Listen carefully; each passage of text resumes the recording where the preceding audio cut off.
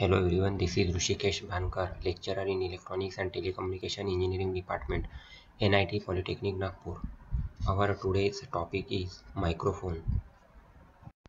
So the learning outcomes are you will able to learn about the microphone, then you will able to know the microphone frequency response and you will able to know the types of microphone.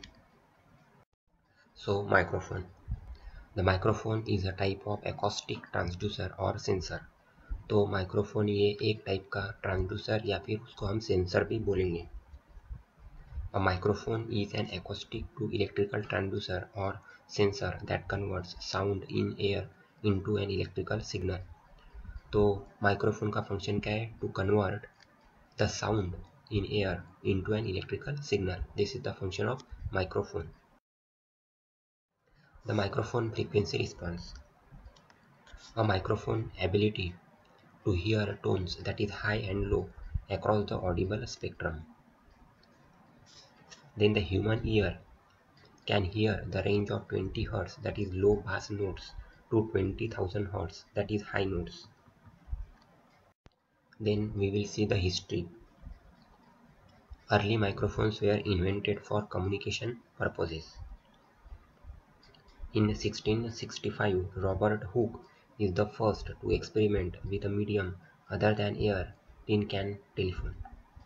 The first microphone, carbon microphone in 1876, independently developed by the David Edward Hughes in England and Emile Bernil and Thomson Edison in the US. Then the types of microphones The three main types of microphones according to their principles of operation are तो microphone के तीन types हैं according to their principles of operation तो first is dynamic microphone that is moving coil microphone then second is condenser microphone that is capacitor microphone and third one is ribbon microphone now the directional characteristics of microphone so a microphone can be designed to react to absolute changes in pressure that is pressure transducer the difference between pressure at the front and rear of the diaphragm that is pressure gradient and the force and direction of the sound wave that is the velocity so this is the carbon microphone and this is the moving element तो ये हमारा carbon microphone की diagram हो गई और यहाँ पे ये जो है ये मूविंग कॉइल है So the carbon microphone was widely used for many years, being one of the earliest reliable microphones. The carbon microphone is not widely used these days but it has been included here more for the sake of interest and completeness. तो ये जो carbon microphone है ये बहुत पहले बहुत earliest reliable microphone करके use होता था अभी उतना यूज़ में नहीं आता है ये microphone So the history of carbon microphone. The carbon microphone was developed in the 1870s by Englishman David Edward Hughes. It was the first reliable form of microphone and it was widely used for many years before being supplanted by other types that gave the much higher levels of performance. तो ये first reliable microphone था पहले सबसे पहले use होता था the construction of carbon microphone. The basic concept behind the carbon microphone is the fact that when carbon granules are compressed their resistance decreases. This occurs because the granules come into better contact with each other when they are pushed together by the higher pressure. So the carbon microphone comprises carbon granules that are contained within a small content that is covered with a thin metal diaphragm उसमें metal diaphragm use होती है A battery is also required to cause a current to flow through the microphone. अब microphone से current flow होने के लिए battery का भी यूज़ वहाँ पे होता है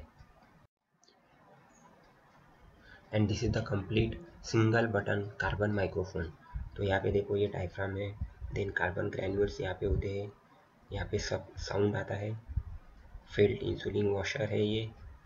उसके बाद इंसुलेटिंग पिन यहाँ पे दिया है। यहाँ पे इंसुलेशन है। This is the button this is four hundred ohm potentiometer है ये। ये जो दिख रहा है।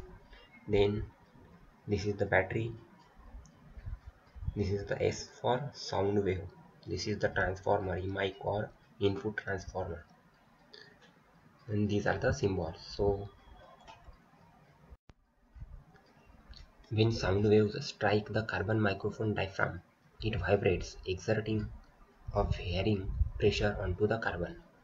तो जब हम इनपुट में क्या दे रहे हैं? साउंड वेव्स तो जब साउंड वेव स्ट्राइक होंगे कार्बन माइक्रोफोन डायफ्राम में जो अभी हमने फिगर में देखा है तो क्या हो जाएगा? इट वाइब्रेट्स वाइब्रेट्स हो जाएगा वो और वो क्या एक्सर्ट करेगा?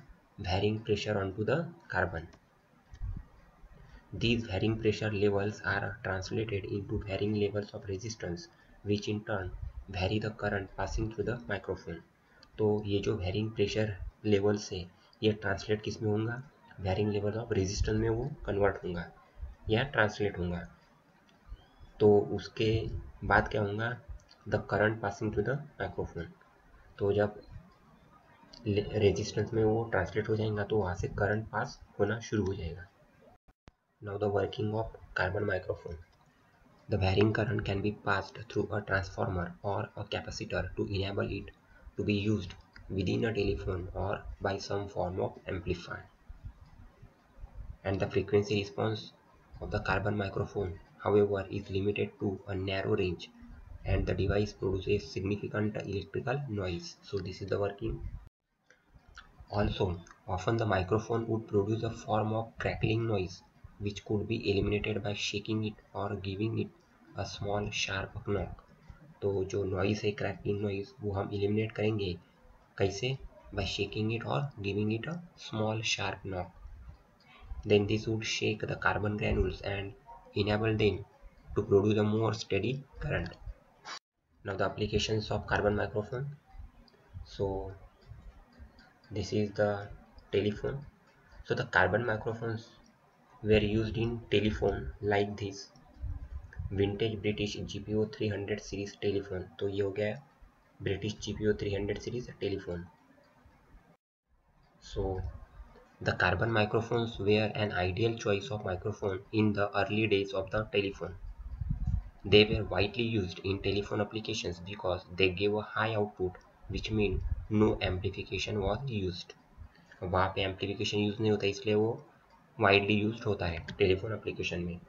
So the advantages of carbon microphone first high output then simple principle and construction and cheap and simple to manufacture then the disadvantages of carbon microphone it's very noisy high background noise and on occasion it would crackle poor frequency response and it requires battery or other supply for the operation so the program outcomes you mapping देखेंगे। तो PO1, PO3, PO6 और PO7 ये चार POs map होते हैं आज के topics को। So thank you student